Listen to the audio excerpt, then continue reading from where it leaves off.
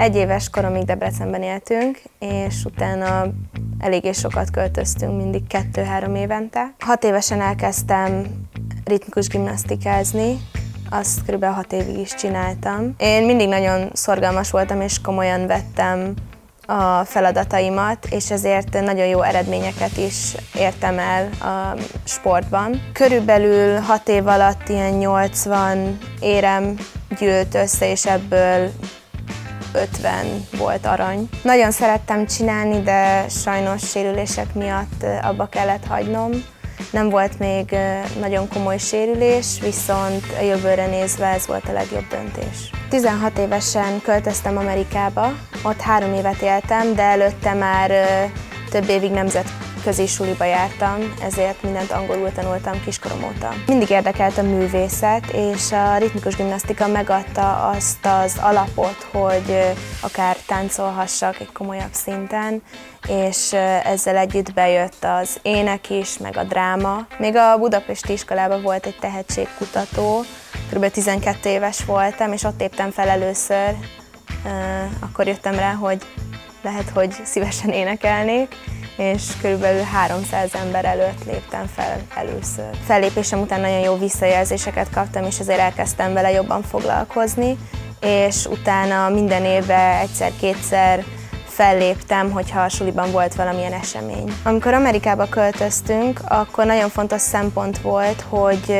olyan iskolát találjunk, ahol van drámatagozat. A Beverly Hills High Schoolnak nagyon régi hagyományai voltak, oda járt például Angelina Jolie, Betty White.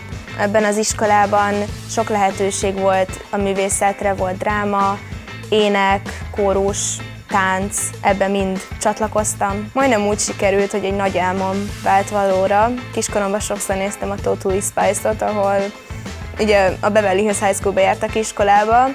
Amikor odaértem, nem egészen úgy nézett ki a hely, és nem találtam sok hasonlóságot, de hát legalább el tudom mondani másoknak, és ők azt gondolják, hogy nagyon szerencsés voltam. Még otthon a nővérem elkezdett énekórára járni a Bretmani módszerrel, és a ikertesommal mi kint Amerikában szintén találtunk egy olyan tanárt, aki ezzel a módszerrel tanított, és elkezdtünk komolyabban foglalkozni az énektanulással. Amikor hazajöttem, akkor nem igazán találtam a helyemet, és nem tudtam, hogy tovább szeretnék-e tanulni, énekelni szeretnék-e, és helyre kellett állítanom magam, el kellett kezdeni edzeni, és egy kicsit céltudatosabbá tenni magamat és ekkor így elkezdtem az énekkel komolyabban foglalkozni, hogy hát abban találok egy irányt. Májusban jelentkeztem a Starban leszek tévéműsorba, és ott el is jutottam az élősóig. Én mindig, ha jött valami lehetőség, akkor félelem miatt mindig nemet mondtam, vagy inkább hagytam, hogy elmúljon. Végül hoztam egy olyan döntést, hogy nem fogom engedni, hogy a félelmeim irányítsák a döntéseimet, és ezért haladtam előre, tudatosan átgondoltam, de, de nem hezitáltam azért, mert valami kellemetlen volt, vagy nem volt olyan komfortos. És most májusban, amikor jelentkeztem erre a sorra, akkor eldöntöttem, hogy nem félek, hanem tovább megyek és meglátom, mi lesz. És nyilván közben voltak hezitációk, hogy nem tudom, hogy tovább szeretnék-e maradni, de aztán mindig összeszedtem magam, és ezáltal újabb és újabb lehetőségek jöttek. Tehát, hogyha tudnék tanácsot mondani, az az, hogy ne féljünk a lehetőségekkel, mert akkor egyre többet be tudunk vonzani.